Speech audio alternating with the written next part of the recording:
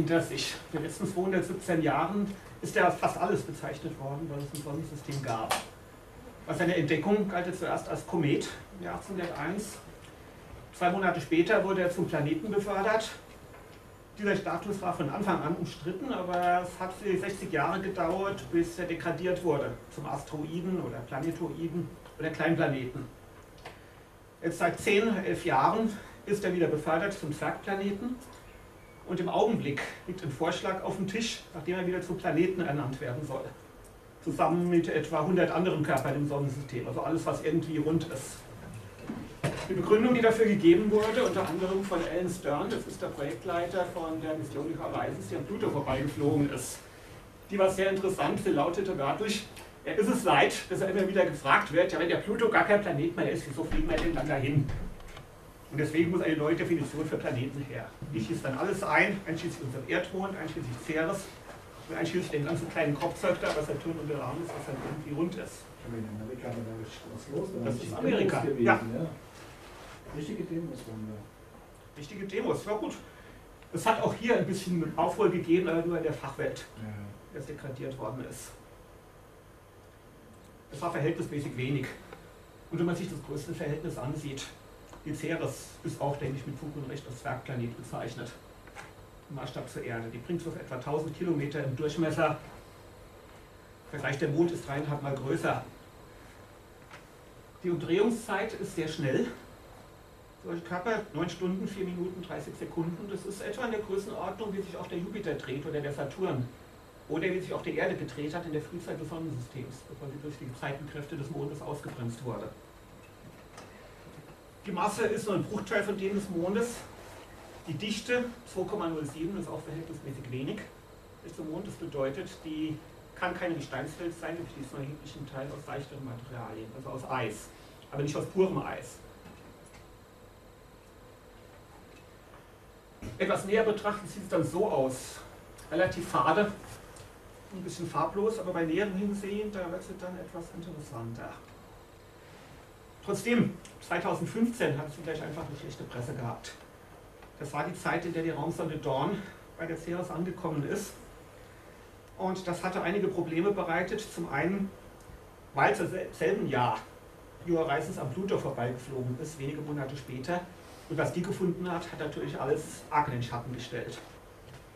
Zum anderen war das Problem, dass bei der Dawn es Schwierigkeiten gegeben hatte mit der Anflugbahn. Das hat dazu geführt, dass die ersten Fotos von der Ceres nicht besonders eindrucksvoll gewesen sind.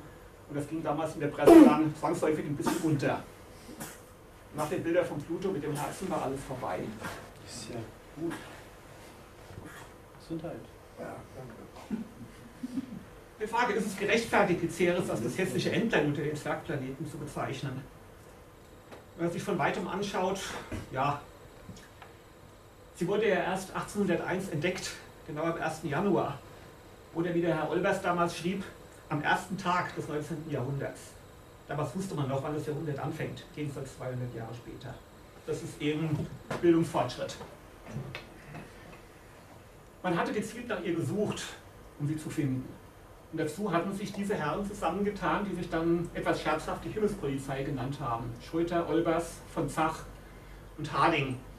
Der Hintergrund war, dass der Chef von dem Harding, das war der Herr Bode, die Titus-Bodische Reihe favorisiert hatte, die eine mathematische Beziehung herstellt zwischen den Abständen der Planeten.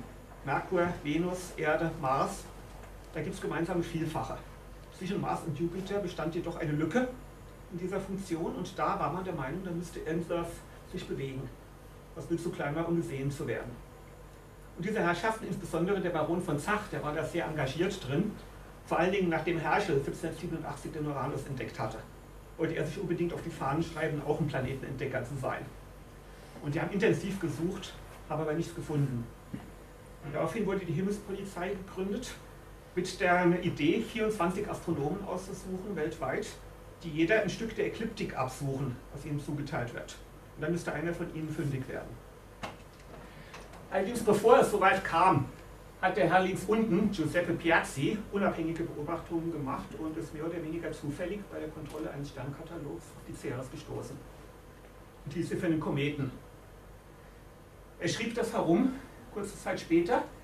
Die Post war damals lange unterwegs, die Französische Revolution war vorbei, die Koalitionskriege waren im Gange und die Post war immens verzögert. Also es hat bis März gedauert, bis ein Brief bei dem Herrn Eubers in Berlin ankam. Und der hat sofort erkannt, dass dieses Objekt, was er beobachtet hatte, der vermutete Planet sein musste. Das war die Ceres. Die Bezeichnung als Planet, die hielt er noch lange stand. Das ist ein Atlas von 1832. Und da ist die Ceres immer noch alternativ als Planet von Piazzi genannt.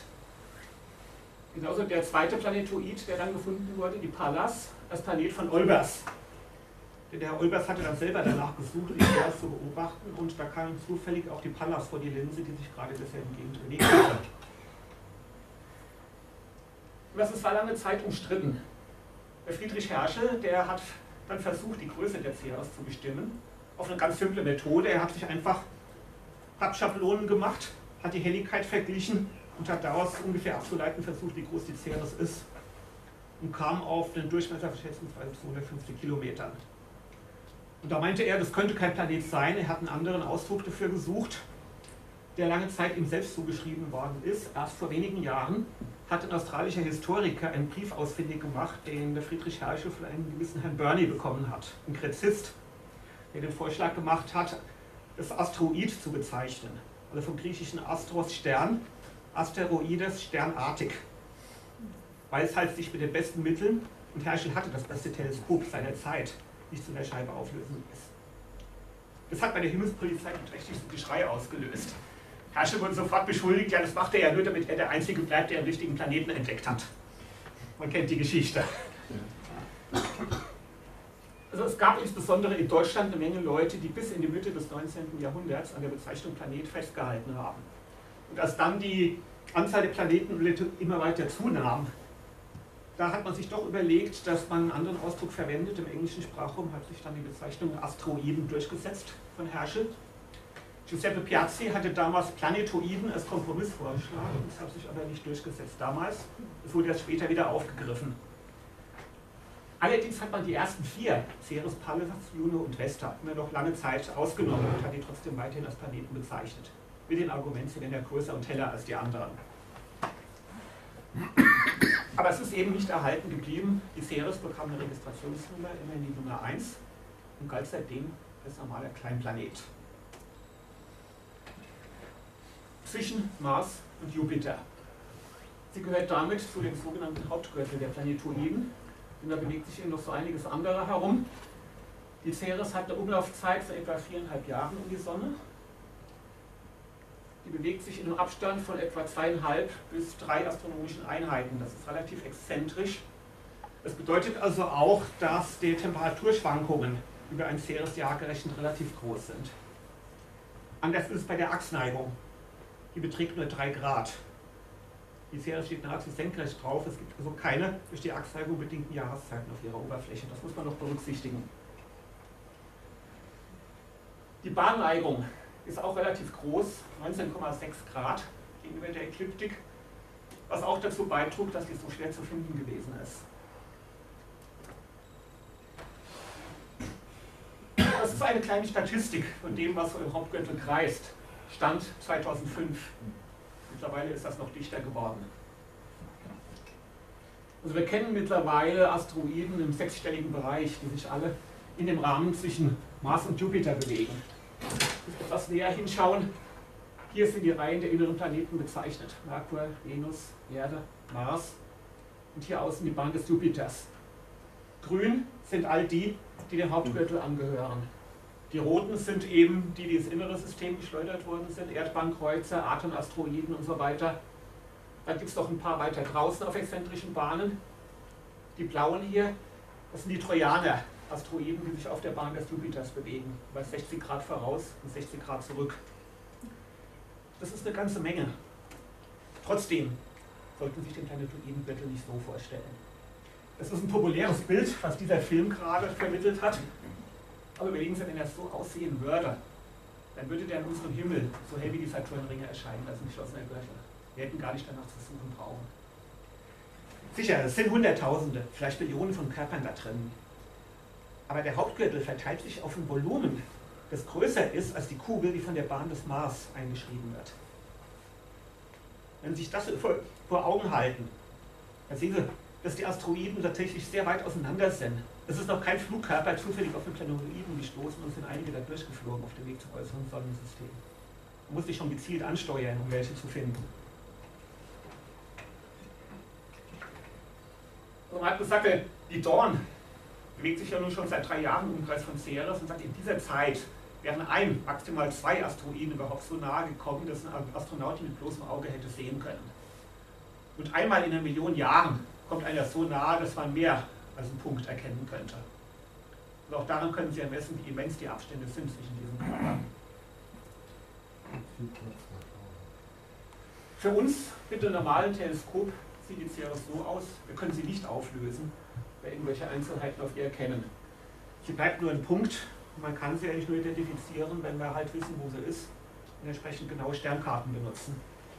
Das ist bei ihrer Entdeckung lange Zeit ein Problem gewesen. Die Sternkarten waren nicht konkret genug. Man hatte sie zuerst mal wieder verloren, bis der Herr Gauss es äh, fertiggebracht hat, die Bahnelemente zu übermitteln und zu berechnen. Und damit war es möglich, die Ceres nach einem halben Jahr, nachdem sie verschwunden war, wieder zu entdecken.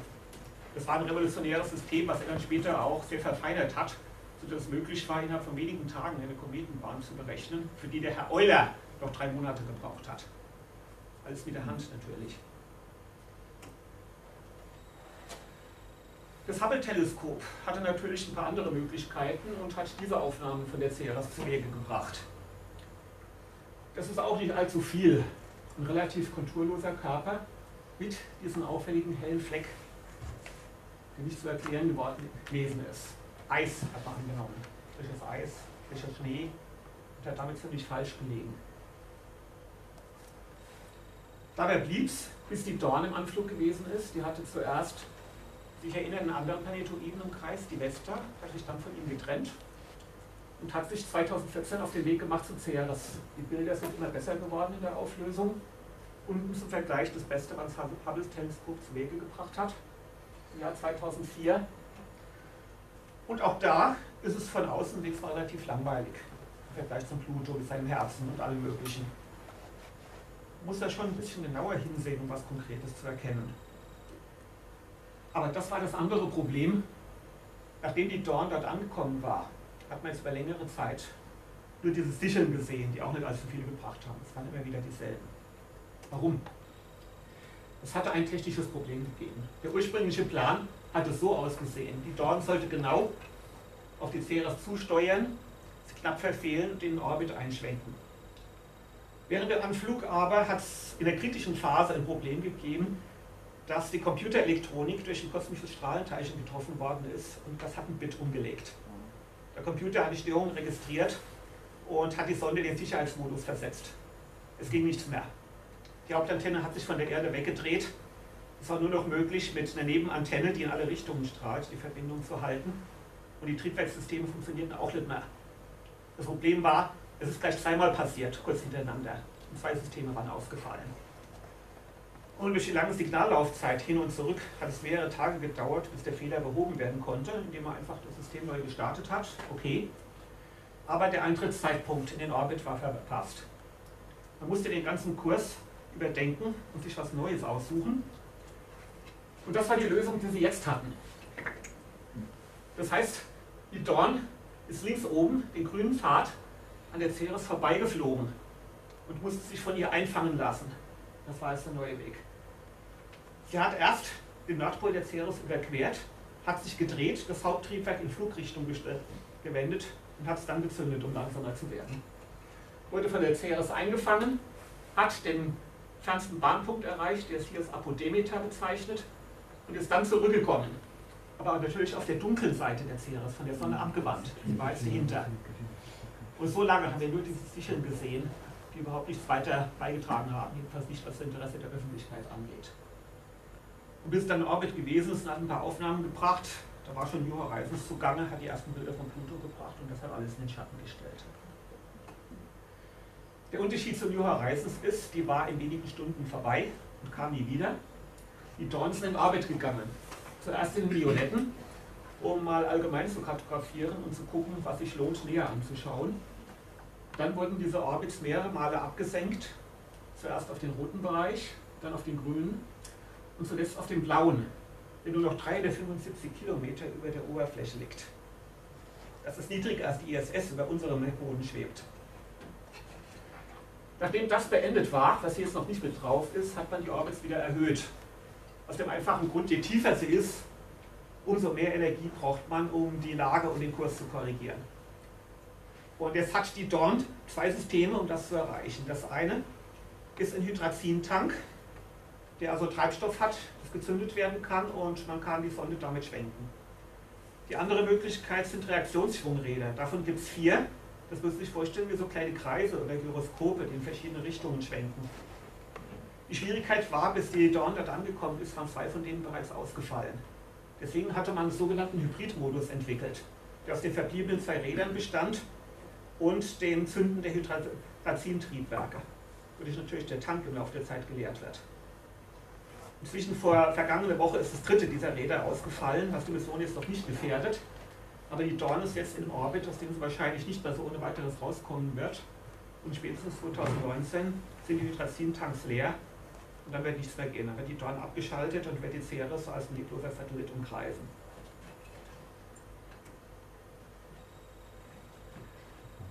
Die Mission war soweit erfolgreich, dass es sogar verlängert werden können. Wenn Sie das vergleichen, das ist ein Diagramm, dem Orbit der Ceres, so in verschiedenen Phasen, ist hier außen abgebildet, innen die Sonne.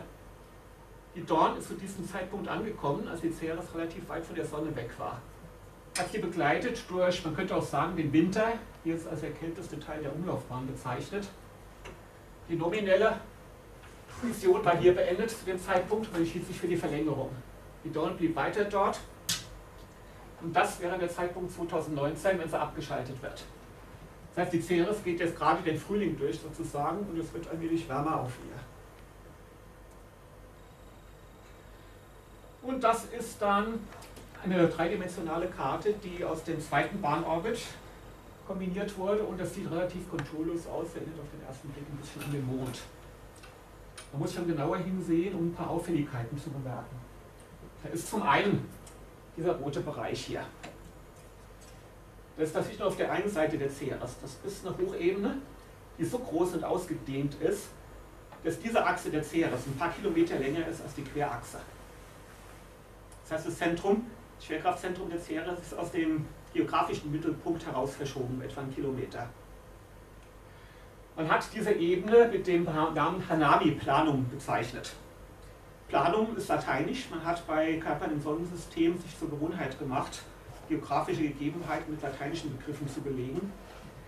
Was Hanabi angeht, da ist man übereingekommen, Eigenschaften auf der Ceres nach irgendwelchen Gottheiten des Ackerbaus, der Landwirtschaft oder nach landwirtschaftlichen Festen zu bezeichnen. Da ist jemand in letzter Sekunde eingeschritten, das ist kein Witz, diese Ebene hätte um ein Haar Erntedankplanung geheißen. Man hat sich für Hanabi entschieden, was immer es bedeutet. Auf der anderen Seite gibt es hier im Tiefland direkt daneben, das ist das Vendimia Planitia. Also das Gegenteil Planum, eine Hochebene, Planitia Tiefebene, ist allgemeine Konvention. Über Pluto hatte man das übersehen und dieses Herz war das Sputnik Planum, wo es tiefer liegt als die Umgebung. Mittlerweile hat man es auf Sputnik Planitia geändert und man wird es wahrscheinlich noch einmal ändern. Das sind alles noch vorläufige Bezeichnungen, die noch nicht von der Internationalen Astronomischen Union abgesegnet sind. Und man sieht eine ganze Menge Krater, allerdings weniger als erwartet, vor allen Dingen weniger große Krater. Die ganz großen fehlen. Der größte auf der Ceres hat etwa 300 Kilometer und man hätte eigentlich erwartet, dass es da etliche Bassins geben müsste, die so den halben Durchmesser der Ceres selber hätten, um die 500 herum. Man kennt das von den Saturn-Satelliten oder auch von der Vesta. Auf der Ceres fehlen die. Frage, sind die jemals da gewesen? Und wenn ja, wo sind die hingekommen? Das ist eines der Probleme, die noch unbeantwortet sind. Wenn man sich die Mercator-Projektion anschaut, dann sieht man es noch deutlicher. Also diese Hanami-Planung, das hebt sich ganz krass ab hier in dem Bereich. Es ist verbunden mit der ganzen Serie von Gräben, Riefen und Rillen, die sich durch die Ceres erstrecken. Und zwar von einer Seite auf die andere. Es gibt daneben auch einige Systeme, die offenbar mit diesen Kratern hier zusammenhängen, die aber jüngeren Datums sind, denn sie schneiden die anderen Gräben. Auf der anderen Seite ist hier dieses Tiefland. Dieser Krater, Kerwan, der gehört zu einigen der jüngsten auf der Oberfläche der Ceres.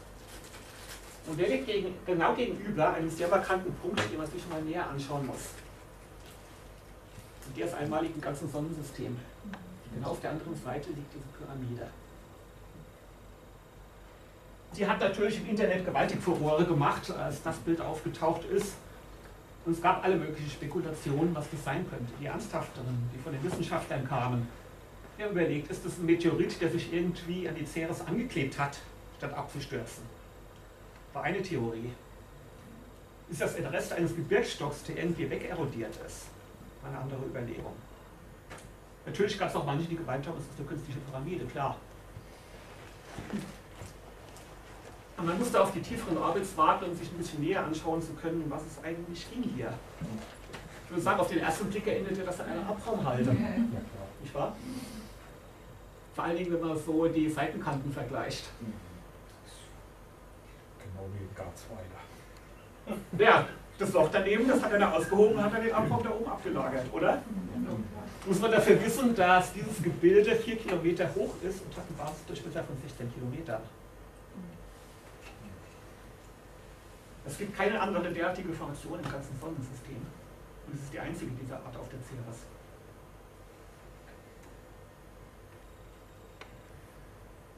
Wenn man sich ein bisschen näher anschaut, im dreidimensionalen Bereich, dann wird es noch aufschlussreicher. Das ist dieser eigentliche Berg oder diese Erhebung. Es hat einen relativ flachen Gipfel, das ist dieser orangene Bereich hier. Der Sockel ist hier als grün gekennzeichnet, das ist der sogenannte Talus, das ist der Hang.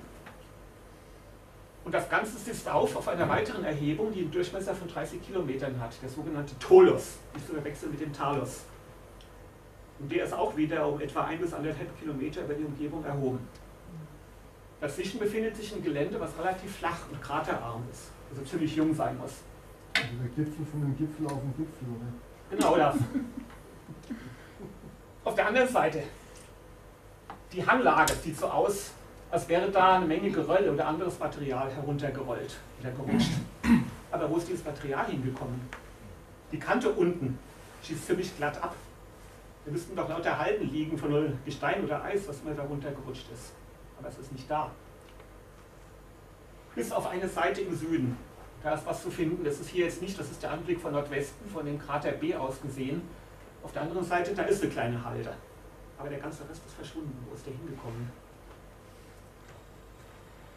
Und die Erklärung, die man schließlich ge gefunden hat, ist, dass es sich um einen Vulkan handelt. Aber eben kein Vulkan, der heißes Magma spritzt, wie es bei uns ist, sondern Eis wie auf den Welten des äußeren Sonnensystems, auf dem Pluto oder auf dem Triton. Ein Kryovulkan. Wenn man sich das im Querschnitt anschaut, dann läuft es wahrscheinlich daraus hinaus, dass sich tief unter der Kruste zumindest eine Blase befindet mit Wasser drin. Flüssiges Wasser, aber kein reines Wasser, sondern es ist sehr stark salzhaltig, es ist mehr eine Sohle mit diversen mineralischen Beimengungen noch drin. Direkt unter dem Berg müsste es einen Hotspot geben, durch den dieses Wasser gelegentlich aufsteigt und eruptiert und dadurch diesen Berg ausgebildet hat. Man schätzt anhand seiner Hangneigung, dass der je nachdem welches Modell man ansetzt, zwischen 70 und 210 Millionen Jahre alt ist, was ja sehr jung ist. Wenn das Wassereis ist, wird das nicht langsam im Weltraum dann hinaus diffundiert? Auch durch die Sonnenerwärmung? Meine, Natürlich. Das spricht auch dafür, dass es so jung ist. Sublimiert. Es würde sublimieren, was bedeutet, dass es auch kein reines Eis sein kann natürlich, aber das erklärt, wo dieses Geröll hingekommen ist. Das, was der ausgespuckt hat, das ist runtergerollt, aber im Laufe der Jahrmillionen ist das wegsublimiert. Das muss der Hauptsache Eis gewesen sein und das ist verdampft. Deswegen ist das Geröll nicht mehr vorhanden. Der Berg an sich, der ist so massiv, der sublimiert nicht so schnell weg. Die 16 Kilometer Basisdurchmesser, das ist eine ganze Menge Material. Was aber passiert ist, dass er im Laufe der Zeit sich abflacht. Der hat zurzeit einen Neigungswinkel von 40 Grad. Im Laufe der nächsten 10 Millionen Jahre wird das auf 30 absinken. Es sei denn, er hält noch Nachschub von innen. Und dann wird er im Laufe der Zeit unkenntlich werden. Es gibt einige Gebilde auf der Ceres, die man so deutet, dass das viel ältere Vulkane sein könnten. Denn es wäre ja sehr sonderbar, wenn es annehmen müsste, Ahuna Mons, wie er jetzt heißt, das wäre der einzige Vulkan auf der ganzen Ceres. Stellen Sie sich vor, wir hätten auf der Erde den Fujiyama und sonst nichts. Und auch dieser Tolus wird mittlerweile angenommen. Das ist das, was von einem Vorläufer von Ahuna Mons übrig geblieben ist. Ein älterer Vulkan, der einfach auseinandergelaufen ist, bis er nicht mehr zu erkennen war. Und danach muss sich dieser Hotspot wieder geöffnet haben und hat diesen Berg gebildet. Der Raumsonde hat keine Aktivitäten fotografiert. Ne? Nee. Ob der jetzt noch aktiv ist, weiß man nicht. Wie hoch ist der nochmal? Vier Kilometer Ja. über der Umgebung. Ja, ja. Ich merke, Wenn du den Tolus noch mit einrechnest, dann kommt das bis auf sechs. Mhm. Aber das, wenn da jetzt ein Vulkan stattfindet, Mhm. dann wird ja auch irgendwie ähm, Gravitationskräfte sein von anderen Planeten oder irgendwas. Dann die Hülle sich da so aus Richtig, das ist das Problem. Es gibt keine Gezeitenkräfte auf der Ceres, also woher bekommt er seine Wärmequelle? Kann das Jupiter sein? Vielleicht ist der, Das ist zu weit. Jupiter ist so weit weg. vielleicht ist der Berg durch einen Impuls von der Rückseite entstanden. Und der Impuls hat ihn hochgedrückt und auch die, äh, das Material geschmolzen. Und dadurch ist der Vulkan erst entstanden. Aufmerksam zugehört. Er hat gesagt, Ahuna Mons liegt genau gegenüber des Kraters Kerwan. Das könnte darauf hindeuten, dass dieser Einschlag den Hotspot wieder geöffnet hat, der längst erloschen war. Und hat dadurch dazu geführt, dass Ahuna Mons entstanden ist. Das wäre eine plausible Möglichkeit. Warum aber dieses Wasser dort unten drunter flüssig ist, von was das gewärmt wird, das ist eine offene Frage. Radioaktive Stoffe vielleicht? Durch den Impuls, Aber die Frage ist, in welcher Menge? durch den Aufschlag. Ja, aber bleibt das so viele Millionen Jahre dann flüssig? Ich muss ja irgendwoher Nachschub von Wärme bekommen. Gezeitenkräfte ist es jedenfalls nicht. Ceres hat noch nicht mal Monde. Also das ist eine Frage, an der Theoretiker im Augenblick noch rätseln. Der Vulkan steht da, aber wie er gefüttert wird, das ist bislang völlig unklar. Ein anderes Problem, das ist dieser weiße Fleck, der schon im Hubble-Teleskop zu sehen gewesen ist. Bei der Annäherung stellte sich heraus, dass der einen Zwilling hat, der ein bisschen schwächer ist. Das war dieser Bereich hier. Und bei genauem Hinsehen liegt er im Zentrum eines Kraters, der 90 Kilometer durchmesst und den Namen Okator bekommen hat. Sagt man, dachte zuerst an Eis natürlich. Muss man aber jetzt bedenken, das sieht hier und auf den Hubble-Bildern schneeweiß aus, ist es aber nicht. Das ist überbelichtet. In Wirklichkeit ist es nur ein bisschen heller als die Umgebung. Sichtbar heller, aber doch relativ dunkel. Also frischer Schnee oder frisches Eis, das ist auf gar keinen Fall. Das Seltsame dabei ist, dieser Bereich hier, der liegt in einer Mulde, die noch einmal in den Kraterboden abgesenkt ist, über einen Kilometer tief und die ist so groß, dass man ganz Mainz da reinpacken könnte. Das war natürlich eine denkbare Erklärung, aber keine besonders naheliegende. Tatsächlich ist das ein relativ komplexes Gebilde. Sie sehen, das ist der Hauptbereich und Sie sehen, der liegt in dieser Mulde drin, hat aber wieder eine Erhebung ausgebildet, die mehrere hundert Meter hoch ist. Weil es besteht diese Erhebung ganz und gar aus diesem Material oder ist da ein Sockel drunter, der nur damit bedeckt ist? Das ist eine Frage, die nur eine Bohrung beantworten könnte, das kann die Dorn nicht mitteilen. Man sieht ja auch, dass den ganzen Kraterboden ein System von Rinnen und Gräben durchzieht. Und entlang einiger von denen sind diese sekundären Hell- Aufhellungen zu beobachten. Und die Frage, um was handelt es sich da, wenn es kein Wassereis ist?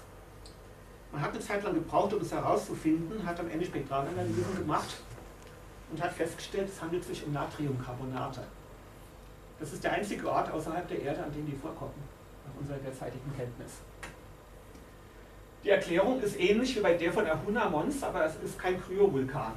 Man geht hier auch von der Sohle aus, die ein bisschen nach oben aufsteigt durch diese porösen Stellen hier, insbesondere die Gräben, die runtergehen. Das Ganze hat mehr Ähnlichkeit mit einem Salzstock auf der Erde als mit einem Vulkan. Da ist es auch so, dass sie eine härtere Gesteinsschicht oben haben. Sie haben unten ein flüssiges Material, was das Salz nach oben drückt, bis es irgendwann durchbricht und diesen Stock bildet. Es tritt an die Oberfläche zusammen mit der Sohle, also mit Wasser und Eis. Dieses Wasser sublimiert sofort weg und die Natriumcarbonate bleiben übrig auf der Oberfläche. Das wäre eine denkbare Erklärung. Wir haben also mit einer Art von Geistieren zu tun.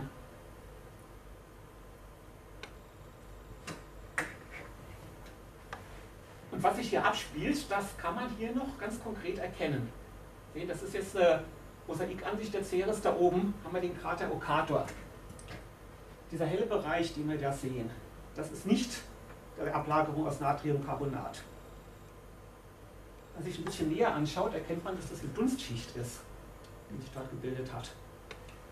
Die tritt regelmäßig auf, ist am stärksten zur Mittagszeit und verschwindet in der Abendsonne. Nachts ist die weg. Und das ist offensichtlich ein Produkt von Ausgasungen aus dem Inneren unter dem Krater Okator. Da ist also nach wie vor Feuchtigkeit vorhanden, in Form von Eis, oder jedenfalls auch Flüssig, das verdunstet. Die Carbonate, das sind ganz feine Körnchen, die werden ein bisschen angehoben und schweben über Ceres, diese, bilden diese Dunstschicht und senken sich danach wieder ab, am Abend, wenn die Sublimierung nachlässt. Das tanzt gewissermaßen auf dem Gas. Man hat das als eine temporäre Atmosphäre bezeichnet, die sich ganz lokal bildet, im Okator und auch an zwei anderen Stellen der Ceres. Es sind einige andere auch beobachtet worden. Aber die Bilder zeige ich jetzt hier nicht, weil es ein bisschen zu weit führt dann. Es ist eigentlich immer wieder dasselbe. Ja, also Eis haben wir. Wie hoch ist der Anteil von Eis dort? Das ist ein Überblick, der das Ganze farbkodiert. Die blauen Bereiche zeigen hohe Vorkommen an Eis, die braunen zeigen niedrige. Links haben wir zum Vergleich die Vesta, die die Dorn ja auch analysiert hat. Auf der Ceres ist die Verteilung andersherum, erwartungsgemäß viel an den Polen, wo es kalt ist, relativ wenig am Äquator. Denken Sie dran, die Ceres steht senkrecht auf ihrer Bahnebene. Es gibt keine Jahreszeiten. Allerdings besteht sie eben nicht aus reinem Eis, sondern zum erheblichen Teil auch aus Gestein. Die Frage ist, wie kommt das Eis rein in die Ceres? Denn es gibt eine Grenze im Sonnensystem, oberhalb derer dieses Eis nicht überlebt hätte. In der Frühzeit des Sonnensystems sind diese ganzen Stoffe, die Eiser, aus dem inneren Bereich heraus entfernt worden, sublimiert, als die Sonne die Kernfusion gezündet hat und hat das innere Sonnensystem aufgeheizt. Das ist hier durch diesen braunen Bereich markiert. Das ist die sogenannte Schneegrenze. Außerhalb dessen würde das Eis erhalten bleiben und könnte sich in Körpern von planetarischer Größe ansammeln. Diese Schneegrenze ist nicht ganz, ganz klar, wo die gelegen hat. Es müsste aber außerhalb des Bereichs gewesen sein, den Ceres heute gewesen ist. Die ist also ein bisschen nach innen gewandert.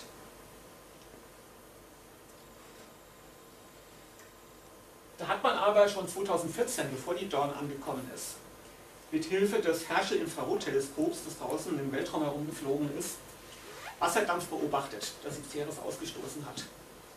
Man konnte es eingrenzen auf zwei Gebiete, die auf der Oberfläche der Ceres, die nicht an den Polen liegen. Komischerweise lag auch keine davon im Krater Okator.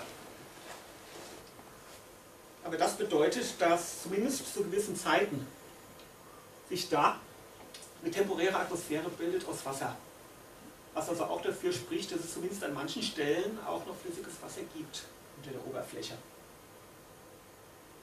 Das Komische ist, dass eine der Messungen eine starke Polarisation gezeigt hat im Spektrum, die anderen aber nicht. Wie das zu erklären ist, da gibt es bisher keine vernünftige Antwort drauf. Und das ist eine der beiden Stellen. Das ist ein Krater namens Oxo, der sehr merkwürdig aussieht. Wie zumal entlang dieses Kraters läuft ein Gebirgszug, der offenbar älteren Datums ist. Und der ist entlang seiner ganzen Kante oben ins Rutschen gekommen, hat den Nordwest Nordrand des Kraters mitgerissen und den Boden runter.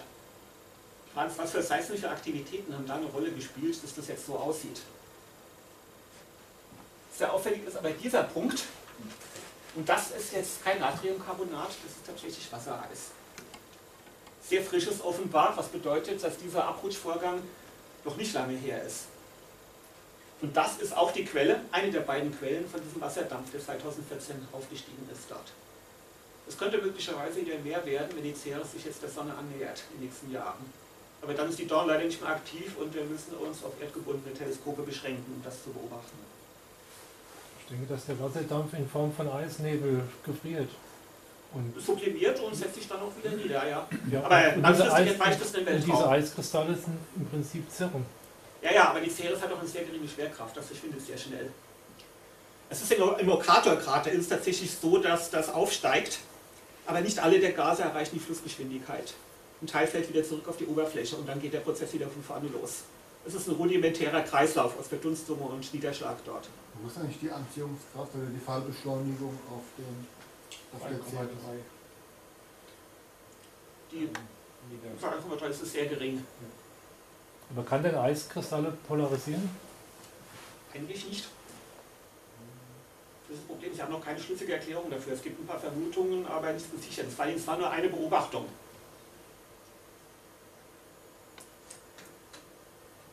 Nur man hat durch Modelle festgestellt, dass dieser Einschlag im Krater Oxus so heftig gewesen sein muss, dass das Eis in Anbetracht der niedrigen Schwerkraft der Ceres bis an die Pole geschleudert worden ist.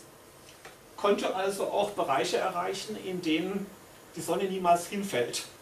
Sie kennen das auch von unserem Mond, da gibt es so ein paar Krater an den Polen, die ständig in der Nacht liegen, nie von der Sonne beschienen werden.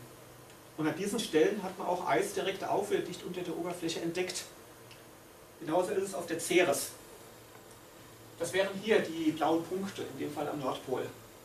Das sind etwa 30 und relativ auch in einigen dieser Stellen sind Aufhellungen beobachtet worden, die sich nachweisen lassen, wenn man die Bilder stark nachbearbeitet. Das gleiche am Südpol. Jetzt hat man allerdings ein Problem, das ist ganz aktuell. Die Achsneigung der Ceres ist nicht stabil. Sie wird durch die doch relativ große Nähe des Jupiters gestört und hat eine Taulbewegung von einigen 10.000 Jahren. Die Achsneigung schwankt zwischen 2 Grad, die ist also jetzt nahe dem Minimum, und 24 Grad, was etwa der Achsneigung der Erde entspricht. Beim maximalen Ausschlag von oberhalb von 20 Grad reduzieren sich diese 30 Grad dort auf 2. Interessanterweise haben diese zwei auch diese hellen Stellen auf der Oberfläche unten im Boden, was also dafür spricht, dass sich dort tatsächlich auch Eis an der Oberfläche befinden könnte. Aber langfristig wird es sich dort nicht halten können. Das ist ein bisschen enttäuschend. Ja, woraus besteht die Ceres? Man hatte anfangs angenommen, bevor die Dorn angekommen ist, sie würde ähnlich wie die Vesta ein differenzierter Körper sein, mit einer festen Kruste. Darunter vielleicht ein fließiger Ozean. Die NASA findet ja immer einen Ozean, egal wo sie hinkommt. Etwas festeren Mantel drunter und einen soliden Gesteinskern. Dieses Bild musste man revidieren. Die Ceres ist nicht so sauber differenziert. Sie hat zwar einen Kern von höherer Dichte, aber weiter außen ist das Ganze doch eher ein poröses Gemisch aus Mineralien und aus Wassereis und noch ein paar anderen Stoffen. Interessante ist, Frage ist, was für Mineralien? Da müssen wir ein klein bisschen in die Mineralogie einsteigen, ganz oberflächlich. Also ein erheblicher Anteil der Oberfläche besteht aus den sogenannten Phyllosilicataten oder Schichtsilikate. Das kennen Sie von der Erde auch als Tonminerale. Unten links ist ein Beispiel davon angegeben, das ist ein Blätterserpentin.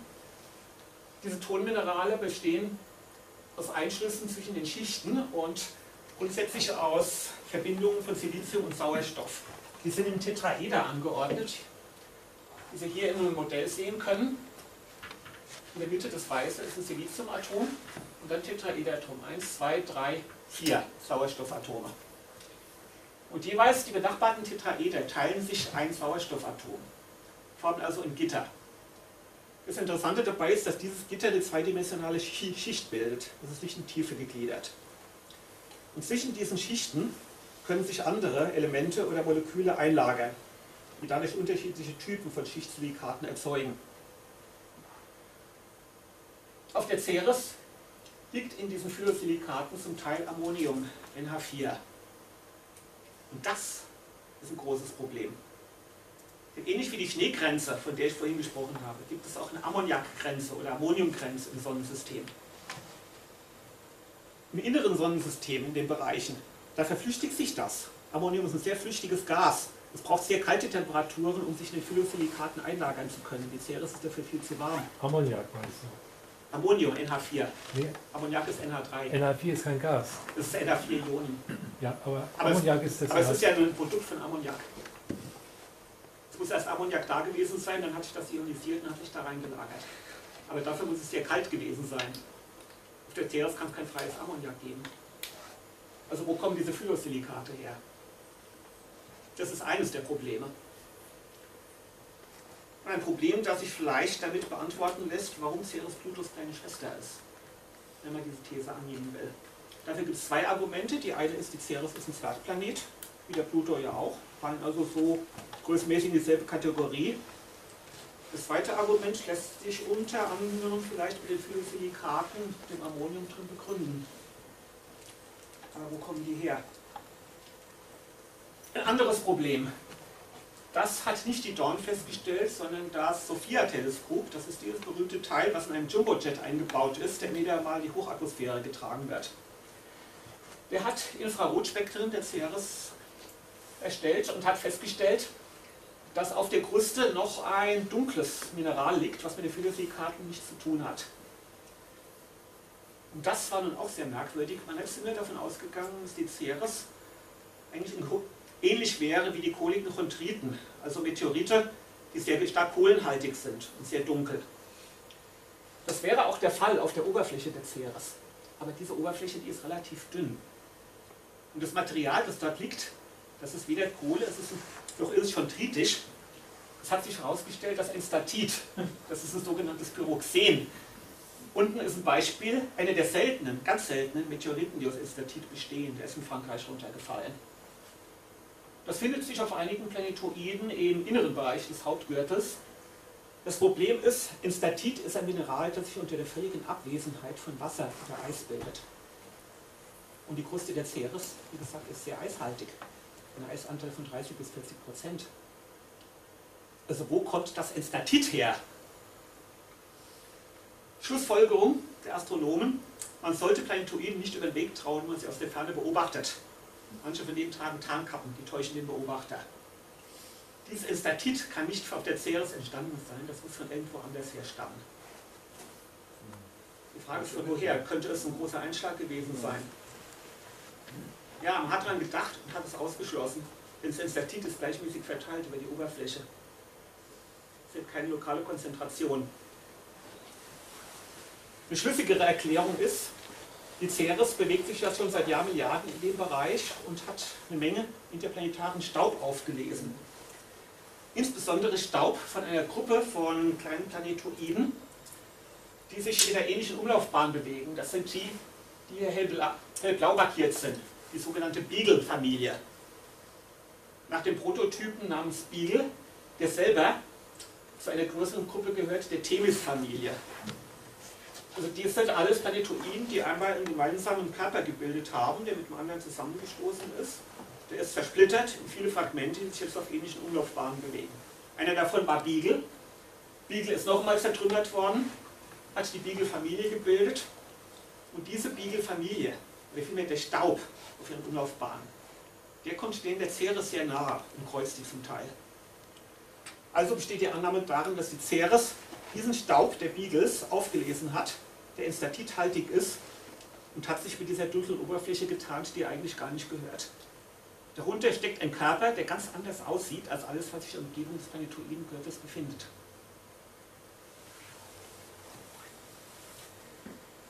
Und das noch eine Sache, die jetzt ganz neu ist. Diesen Krater mit dem Namen Ernutet hat man auch spektral analysiert und hat diese hier orange markierten Bereiche beobachtet, festgestellt, das sind Aliphate. Aliphate sind organische Moleküle. So solche, die keinen Benzenring enthalten. Kohlenwasserstoffe. Kohlenwasserstoffe, ja. Organische Moleküle mit der Methylgruppe oder Methanolgruppe. Was kein Benzenring, aber es ist organisches Material, Kohlenstoff. Und eben auch Material, das nicht aus einem Einschlag stammen kann, denn das hätte die Temperaturen nicht überlebt. Das muss aus dem Innern der Ceres kommen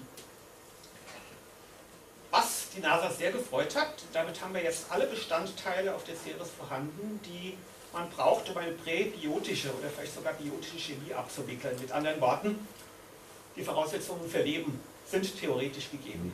Wir haben Wasser, wir haben organische Stoffe, wir haben eine Wärmequelle in Todinnern. Das heißt, Vorstufen zum Leben könnte es geben. Vielleicht, vielleicht, vielleicht mal die NASA sogar schon leben will sich damit ihre nächste Mission finanzieren. Die Dawn wird uns das nicht enthüllen können. Aber jedenfalls, die Stoffe sind vorhanden und das eröffnet die Frage, wie die Ceres eigentlich entstanden ist. Wo kam die her? Also diese Phyllosilikate mit dem Ammonium drin, die müssen von weiter draußen aus dem Sonnensystem stammen. Und zwar von einem Bereich jenseits der Saturnbahn. Vielleicht aus dem Kuipergürtel. Eine Theorie besagt, dass halt eine Menge Staubmoleküle, Material unter anderem Ammoniak aus dem Kuipergürtel in das innere Sonnensystem versetzt wurde, hat sich dort angesammelt und hat schließlich die Ceres gebildet, mit dem Durchmesser von fast 1000 Kilometern. Ich finde es nicht so ganz überzeugend. Wenn die Frage ist, wenn diese ganzen kleinen Bröckchen und Steine und Meteoriten und Kometen und was sonst ins innere Sonnensystem geflogen sind, wieso haben die sich zu einem dicken Klops zusammengefunden, nicht zu vielen kleinen? Warum haben sie sich gleichmäßig über den Hauptkörper verteilt? Es gibt aber die zweite Theorie, und die halte ich für schlüssiger. Dass Ceres gar nicht in den Hauptgürtel gehört. Sie erinnern sich, sie war Komet, sie war Planet, sie war Kleinplanet, sie war Zwergplanet. Vielleicht ist sie gar keins von denen. Vielleicht ist sie ein Kuipergürtelobjekt. Da draußen haben wir ja haufenweise Material, was überwiegend aus Eis besteht. Pluto, Eris, Makemake und wie sie alle heißen. Eine kleine Eiswelt, 1000 Kilometer im Durchmesser, die versprengt das innere Sonnensystem. In der Frühzeit, als die großen Gasplaneten nach außen gewandert sind, da muss es viele von denen gegeben haben, die nach innen geschleudert wurden. Die anderen sind alle verschwunden. Die Ceres hat sich auf dem Orbit dort gefunden, im Hauptgürtel, hat eine stabile Bahn eingenommen, bewegt sich dort noch heute. Und trank sich munter mit dem Staub der Beagles, damit wir nicht merken, dass sie eigentlich gar nicht da reingehört. Und das wäre ein Argument, das man wirklich als Plutos kleine Schwester bezeichnen könnte. Es gibt da draußen Objekte, die der Ceres ziemlich ähnlich sind. Orcus zum Beispiel. Man weiß nicht genau, wie groß er ist, die Messungen sind ja noch recht unsicher, aber er ist etwa in derselben Größenordnung. Der Orcus ist ein Kuipergürtelobjekt, der sich auf der ähnlichen Bahn wie der Pluto befindet, nur entgegengesetzt gekippt. Sehen Sie sich, die Pluto-Bahn ist relativ exzentrisch, steigt ziemlich steil über die Ekliptik auf. Der Orcus genauso, nur andersherum. Man hat ihn deshalb auch gelegentlich als den Anti-Pluto bezeichnet. Ist erheblich kleiner, hat auch einen eigenen Mond im Gegensatz zu Ceres, aber ist fast genauso groß und könnte vielleicht aus ähnlichen Materialien bestehen.